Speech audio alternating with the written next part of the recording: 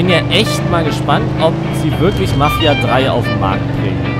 Wenn ja, dann wird das auf jeden Fall Let's Play.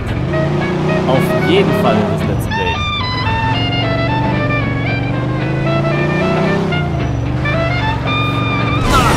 Ah, nein, nein, nein, nein. Okay, ich brauche eine andere Kiste mal. Darf ich mal? Raus da, verdammt! Dankeschön. Ich brauch, ich leih mir die Nummer kurz aus. Oh nein, er bringt uns alle um! Nee, hatte ich eigentlich nicht vor, aber ist But it okay. appears that the Allies have moved another step closer to victory in securing this symbol of Nazi resolve. The taking of Na the komm. Rhine is viewed as key to the impending invasion of Es ging mir nur darum, dass ich mal meine Kiste wieder auf die, auf die Räder krieg. So.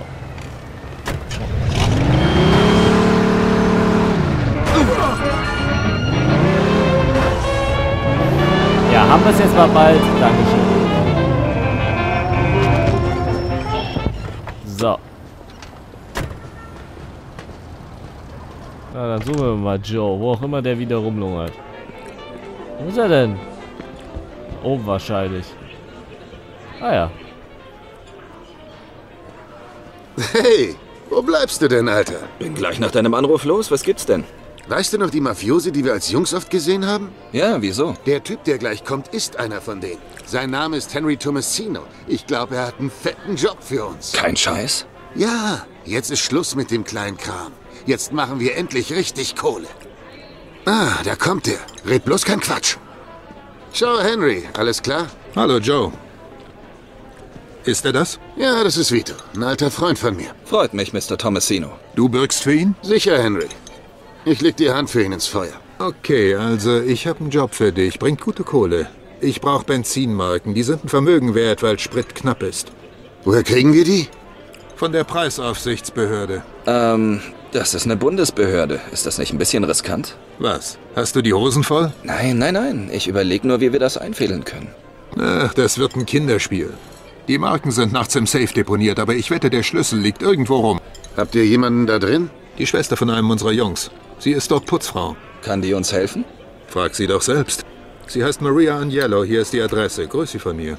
Gut, und der Safe? Was, wenn der Schlüssel nicht da ist? Das ist dein Problem. Was springt dabei raus? Ich zahle dir 600 Dollar pro 10.000 Gallonen Sprit in Marken. Okay, wir sind dabei. Nein, nein, das muss Vito allein erledigen. Für dich habe ich einen anderen Job. Also, wie sieht's aus, Vito? Kein Problem. Hey, vergiss nicht, eine Knarre mitzunehmen. Man kann schließlich nie wissen, was passiert. Vorsorge ist besser als Nachsehen. Kapisch? Moment mal, du überfällst hier keinen Schnapsladen. Der Job muss sauber ablaufen. Wenn der Alarm losgeht, gibt's nur ein Drittel der Kohle. Kapiert? Ja, alles klar. Kein Problem. Also komm wieder, wenn du die Marken hast. Dann ist Zahltag. Gut, bis später. Viel Glück, Vito. Alles klar. Fahre zu Maria Agnello in Little Italy. Das sollte ja gleich um die Ecke sein. Ah, es ist auch sogar gleich um die Ecke. Wir sehen uns. Gut. Alter. Hau die Karre an, wir fahren los.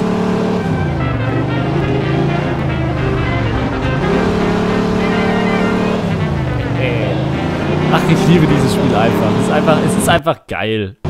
Nach so langer Zeit mal wieder Third-Person-Shooter zu spielen. Einfach nur epic. Ah. Ich meine, Hitman Absolution ist ein geiles Spiel, klar, aber ich brauche mal ein bisschen Abwechslung. Ich hoffe, ihr versteht das.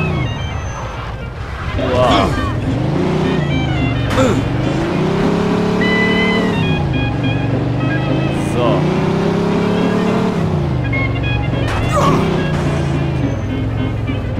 Schauen wir mal. Muss ja hier irgendwo sein. Ich würde ja sagen, das ist da an der Tür hier, ne? Nee, nicht so ganz. Irgendeine blinkende Tür brauche ich. Ach, das sieht wie eine blinkende Tür aus. Da, haben wir es doch schon. Ja, was gibt es denn? Ja, hallo, Ma'am. Äh, Henry Tomasino schickt mich. Er sagt, Sie könnten mir bei einem kleinen Problem helfen. In der Preisaufsichtsbehörde. Ja, habe ich schon gehört. Und was kann ich für dich tun? Äh, ich muss heute Nacht da rein. Okay, ich mache dir einen Vorschlag. Meine Schwester ist gerade im Krankenhaus. Wenn du mich hinkutschierst, dann sage ich dir alles, was du wissen musst. Die Klinik ist gleich gegenüber von dem Amt. Ist also kein großer Klar, Umweg. kein Problem. Na dann.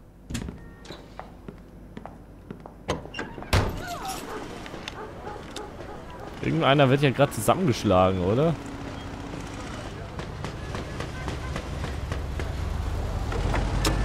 Wer kommt die jetzt mal? Ach, nochmal. Geil.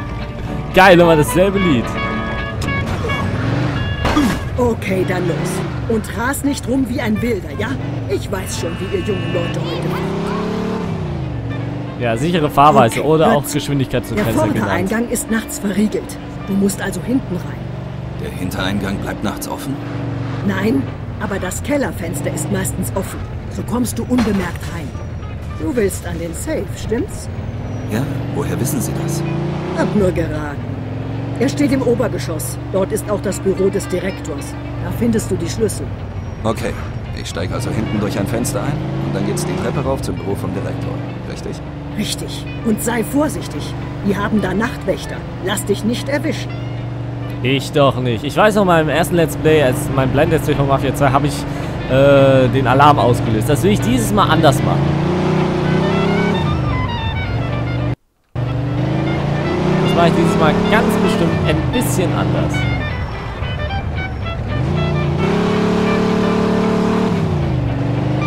Wie viel Kohle habe ich eigentlich? Okay, lass mich hier beim Krankenhaus raus. Okay, alles klar. Das Amt ist gleich gegenüber. Also, danke fürs Mitnehmen, mein Junge. Danke, Maria. Man sieht sich. Ja dann, das Amt ist wirklich direkt gleich gegenüber. So. So,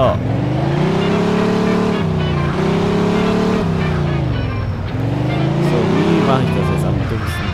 Ja, wir stellen die Karre einfach fluchtbereit so schon mal in die Gasse rein. Oder auch nicht. Ich hätte ja jetzt gedacht, dass man da einfach so reinfahren kann, aber nein. So funktioniert das natürlich nicht. Also, jetzt müssen wir uns ein bisschen anstrengen. Aber gut. Ja.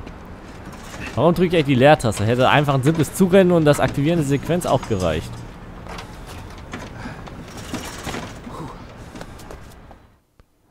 So. GC, G, drücke C, um in die Hocke zu gehen. GC, genau.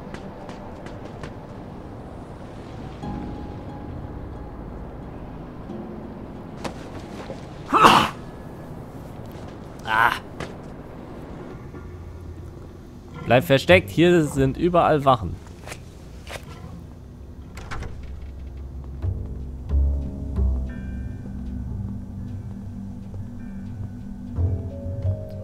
Schauen wir mal. Das glaube ich erst, wenn ich sehe. Jetzt lass mich in Ruhe mein Rätsel fertig machen. Ach, dummes Geschwätz. Ich dreh mal meine Runde. Lass dich nicht aufhalten. Ich habe das Gefühl, dass da gleich einer um die Ecke kommt. Der Fall bewegt sich doch. Ich müsste ihn eigentlich jetzt schon längst sehen.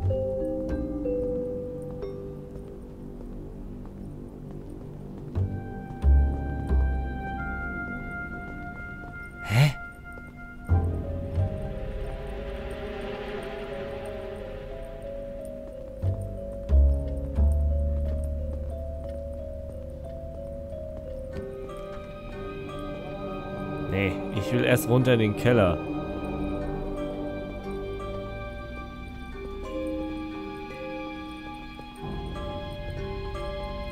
So. Da oben ist eine Wache, okay. Hast du am Wochenende was vor?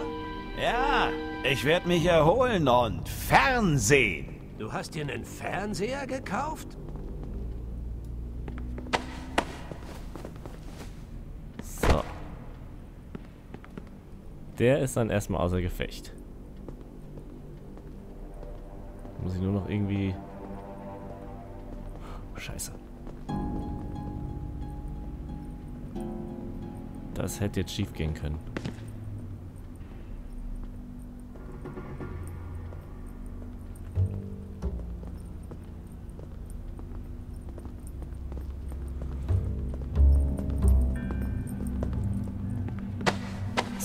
Gute Nacht, Arschloch.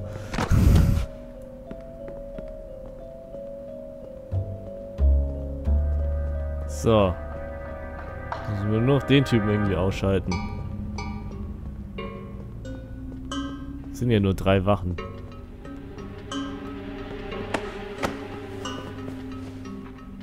Und auf einmal ist der Stuhl weg. So, jetzt kann ich mich frei bewegen. Gut, wir müssen den Keller finden. Nur wo ist der? Ich will im Keller den Strom abschalten. Geht's hier in den Keller? To second floor. Irgendwo hier muss doch... Out of order, out of order. Was zum Teufel? Irgendwo muss doch hier eine verdammte Tür sein. Die in den Keller führt. Auch out of order.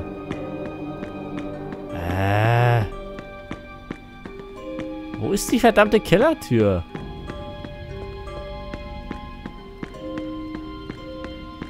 Okay, das ist das Büro vom Direktor. Hier müsste der Schlüssel sein. Dann liegt er natürlich ganz gechillt. Ah, hier ist der Schlüssel. Und jetzt schnell zum Safe. Finde den Safe und stehe die Marken. Nein, ich will erst hier irgendwo den Strom abschalten.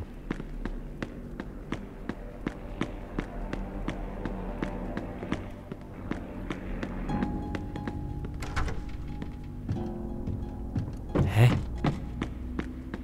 Ich muss eine Etage tiefer wahrscheinlich, oder?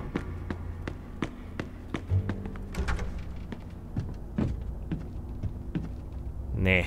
Ich gehe... Äh die Tür hätten wir offen lassen können, verdammt.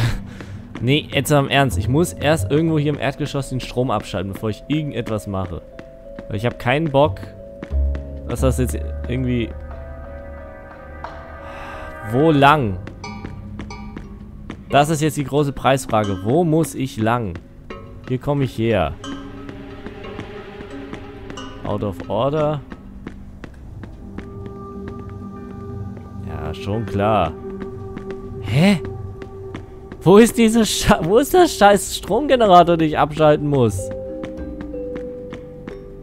Ich bin mal wieder... Ich stelle mich bestimmt gerade total blöd an. Ich bin bestimmt jetzt fünfmal schon dran vorbeigelaufen.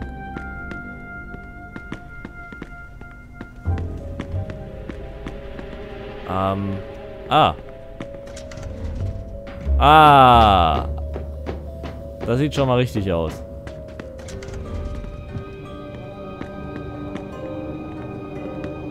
Hier seht, das sieht richtig aus. Ist hier was? Nee, nicht wirklich. Muss irgendwo ein Stromgenerator sein. Ah ja, hier. Nee. Aha, sondern hier unten. Ah, hier steht also, einer muss permanent schaufeln. Hä? Jetzt mal ohne Scheiß, wo war der scheiß Stromgenerator?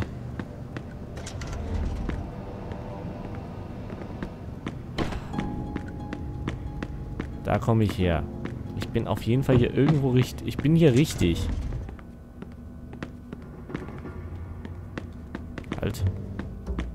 Panel hier hinten? Nö.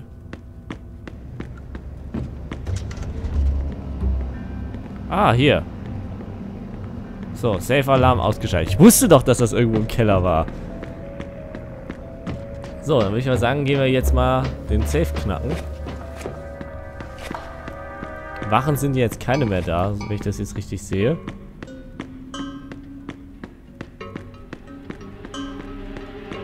So.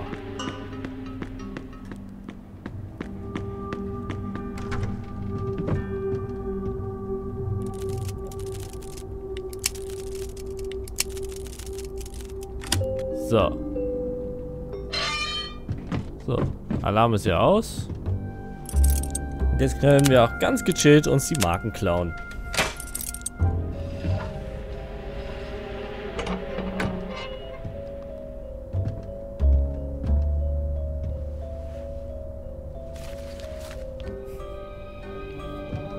Geh raus. Okay.